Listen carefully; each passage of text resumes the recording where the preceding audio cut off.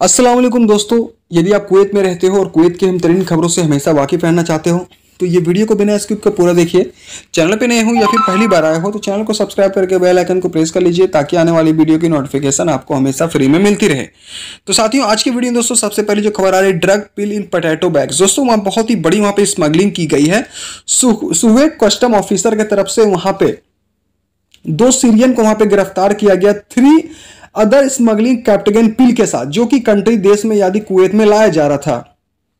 दोस्तों बताना चाहूँगा, आपको तीन तरह का वहाँ पे तीन तरह का दोस्तों वहाँ पे गैर कानूनी कैप्सूल को वहाँ पे लाया जा रहा था, जो स्मगलिंग जिसे कहा जाता है, जो कि एक पटैटो यानी दोस्तों आलू की दोस्तों जो बोरी होते उसमें भर के लाया जा रहा था। फ़िलहाल दोस्तों कस्टम डिपार्टमेंट की तरफ़ से उसे पकड़ लिया गया है और सभी को सीज कर दिया गया। बताया गया कि वन मिलियन पिल्स यानी दोस्तों दस लाख से भी ज़्यादा वो टैबलेट है। फ़िलहाल सभी को सीज कर लिया गया और सभी को दोस्तों वहाँ पे, सभी को जो लोग उसमें शामिल थे उसे गिरफ़्तार भी कर लिया गया है।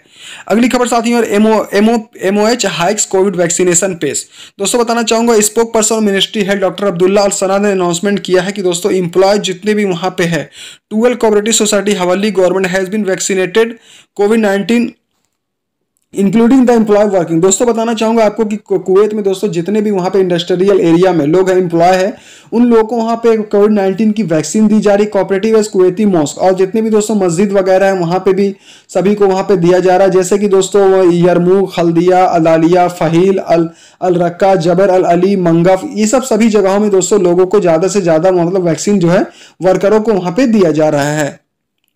अगली खबर साथ टू इंडियन कमिटेड सुसाइड दोस्तों, बताना चाहूँगा आपको, दो इंडियन वहाँ पे सुसाइड कर लिया है, जो कि reason residential continue in their life other hanging और कंज्यूमिंग पॉइजन दोस्तों, वो फांसी लगाने के साथ दोस्तों ये वो जहर भी खाया था, जिसके बाद दोनों की मौके पर ही मौत हो गई है। और बताया जा रहा बताया जा रहा दोस्तों, उनकी लाश को फ़िलहाल अभी, फ़िलहाल उठा के ले जाया गया है। पुलिस फॉरेंसिक डिपार्टमेंट भेज दिया गया और पुलिस इसकी इन्वेस्टिगेशन की लगातार कर रही है। तो दोस्तों, इसकी मौत कैसे, क्यों वो आत्महत्या किया, इसके बारे में कोई अभी खबर नहीं मिली है। फ़िलहाल अभी पुलिस इसकी तलाशी जानकारी प्राप्त कर रही है।